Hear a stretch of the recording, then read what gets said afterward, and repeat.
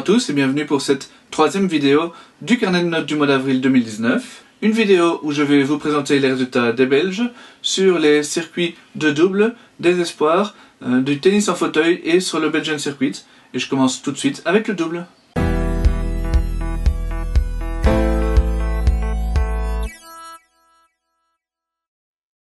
Et incontestablement, le joueur du mois en double n'est autre que Ruben Bemmelmans. S'il peine vraiment à trouver la confiance en simple, Ruben a remporté un titre en double lors du Challenger de Tunis. Il s'agit déjà du septième titre de Ruben à ce niveau, mais c'est le premier depuis 2015. Il s'approche en tout cas du seuil des 10 titres en Challenger que seuls trois Belges ont atteint pour l'instant, Sander Gillet, Joran Wegen et Dick Norman.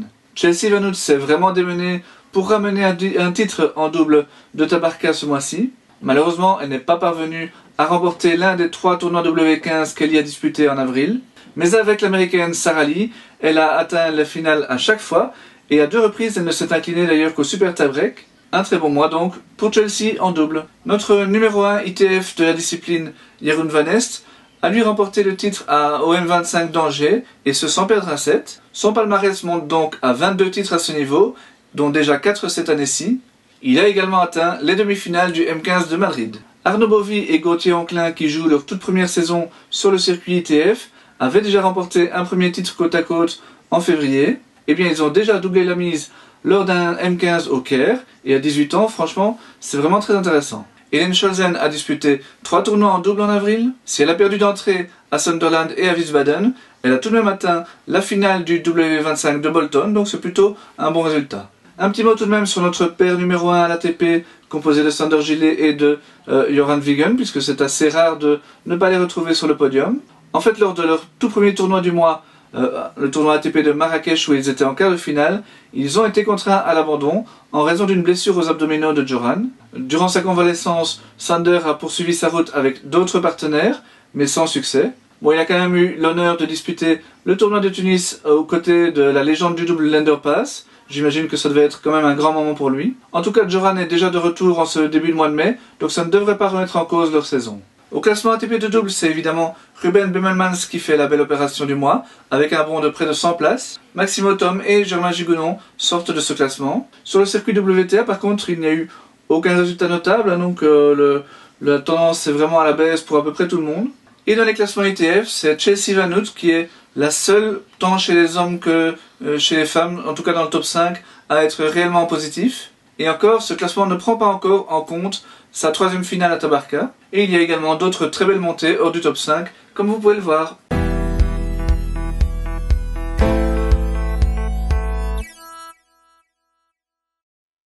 Chez les jeunes, il y a eu très peu d'épreuves du top niveau ce mois-ci. Très peu également de tournois chez les U14 et chez les U16. Nos joueurs se sont donc concentrés essentiellement sur les J4 et les J5 euh, en U18. Et à ce niveau, c'est Alexander Hochmartens qui s'est montré le plus efficace en remportant lors du J4 de Nottingham le deuxième titre junior de sa carrière. Alors il a également remporté ce titre en double et a également atteint une demi-finale dans un autre J4 en tout début de mois à Marsa sur l'île de Malte. Tous ces résultats confirment donc son excellent début de saison. C'est également à Malte, lors du J5 de Corradino, que Anne van de Winkel a remporté également son deuxième titre chez les juniors. La jeune fille, qui n'aura 15 ans que dans un petit peu plus d'un mois, s'est imposée sans perdre un set et en battant la tête de série numéro 1 en finale. À Marsa la semaine suivante, elle s'est arrêtée en quart en simple, mais a de nouveau remporté le titre en double, signant ainsi son troisième succès dans la discipline chez les juniors. Juliette Bovy a 9 mois de moins que Anne, et elle a déjà remporté son tout premier titre chez les U18.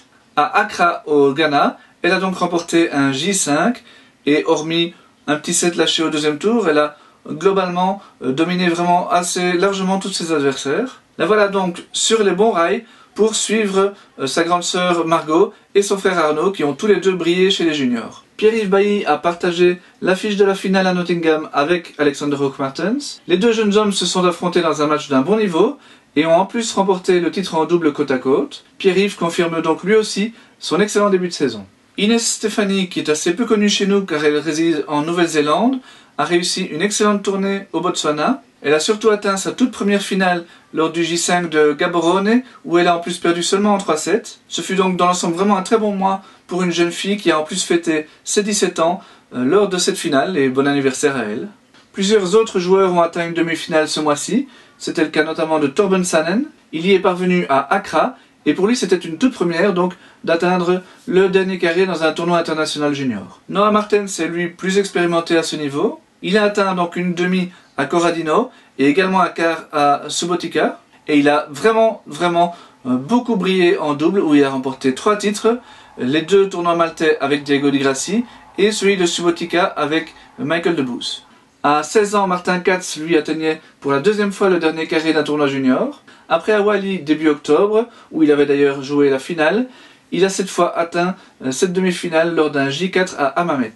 Olivier Roras, qui avait remporté son tout premier titre en février, a encore atteint une demi-finale, cette fois c'était lors d'un J3 à Megrine, et il y a en prime remporté le tournoi en double. Enfin, Amélie Van Imp poursuit également sur la lancée de son très bon début de saison. Elle a atteint les demi-finales à Nottingham en battant notamment la deuxième tête de série. Alors il y a eu de très nombreux changements dans les classements juniors ce mois-ci, comme vous pouvez le constater. Ce sont évidemment les trois joueurs de notre podium qui réalisent les bons les plus intéressants.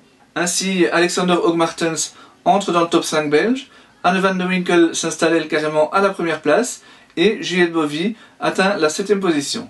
Comme les résultats en U16 et en U14 ont été très peu nombreux, bien il n'y a eu quasiment aucun changement dans les classements de ces deux catégories.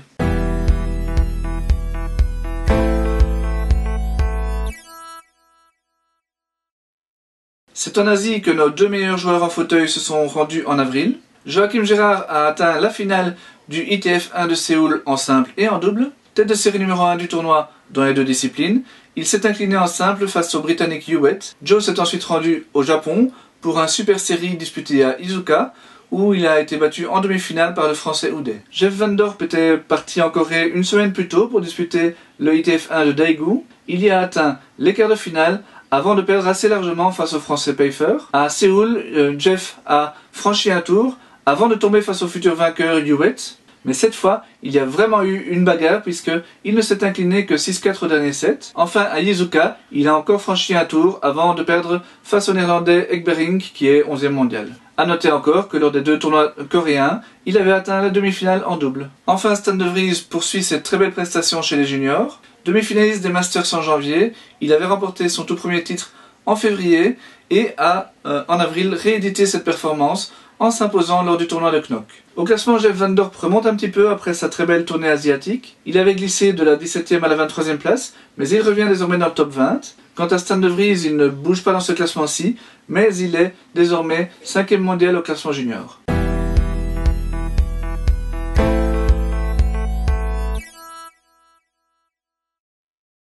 Entre un circuit d'hiver plutôt froid et un mois de mai qui sera consacré aux interclubs, le mois d'avril a offert euh, pas mal de haltes sur le Belgian Circuit et la plus importante était le 5 étoiles de Alken. Déjà gagnante dans le même club du premier 5 étoiles de l'année en janvier, Lara Salden s'est à nouveau imposée, grâce notamment à une victoire très sèche face à Helen Scholzen en demi-finale. Outre donc cette domination sur le Belgian Circuit, il ne faut pas oublier que Lara euh, dispute en même moment beaucoup de tournois ITF et donc euh, avec là aussi pas mal de succès, donc c'est vraiment très impressionnant. Chez les garçons, c'est Yannick Reuter qui s'adjuge le titre, et lui aussi avait déjà remporté le premier 5 étoiles à Alken au mois de janvier. Alors il n'a pas euh, connu beaucoup de difficultés lors de ce tableau, si ce n'est en demi-finale face au toujours très tenace Jonas Merckx. En tout cas, ce double titre euh, le place vraiment comme l'un des favoris du Belgian Circuit cette année. Déjà très remarqué sur le circuit international junior, je vous en ai parlé il y a quelques secondes, Alexander Hogmartens réalise également des pas de géant sur le Belgian Circuit. Vainqueur de son premier une étoile en janvier, il a remporté en avril son premier 4 étoiles à Ayo.